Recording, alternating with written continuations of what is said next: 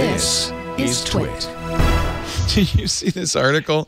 Millennials unearth an amazing hack to get free TV. The antenna. It- they quote, I got to sign in because it's behind a paywall, but they, they quote uh, some millennials who say, I, I, I had no idea that all this free programming was out there, and all I had to do was get us some uh, rabbit ears. I don't know. I, I, well, I did this last year, the year before, when I was in San Jose. It was, it was like, okay, I don't actually need to pay cable for TV because I have um, Netflix and Amazon, and if I just stick a thing on the wall, I can get the live stuff that the cable t- providers can give me, and that's that's done. And in the UK, it's you know it's even better. But the digital over the air stuff here is, is actually really good. Um, and all the all the channels have there's there's iPlayer for the BBC, there's an ITV app, there's a Channel Four app, there's a Channel Five app. So all the all the ch- all the channels are competing to give you digital versions of their stuff too. So when I buy a TV here, it um, it says give me an internet connection, give me a, an over the air connection, and I'll give you what you can find out of both. Um, so it's you know it's it's already happened here. And the US lags a bit because there are these monopoly cable providers who are trying to pers- persuade you that you need to pay them two hundred dollars a month to, to do this for you.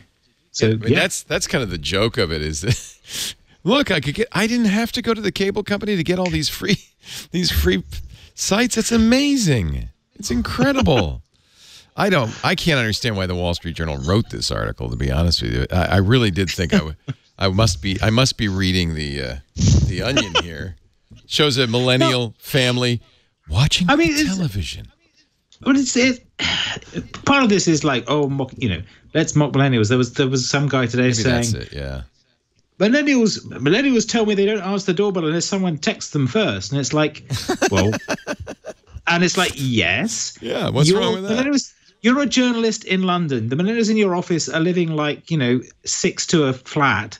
Um, they're not going to answer the door because half the things won't be for them. They're not in a, in a house in the suburbs like you are, um, and they don't, they don't have a family member at home all day to answer the door for them. I was So just it's kind of surprised that this technology exists, says Mr. Cisco, 28 years old. It's been awesome. It doesn't log out and it doesn't skip. But you have to stand up and hold the the antenna Well, and put we your got to left teach leg them up. that. We got to teach them to that. Uh, apparently, you antenna sales are up 7%, 8 million units, according to the Consumer Technology Association. So maybe there is a boom in antenna TV.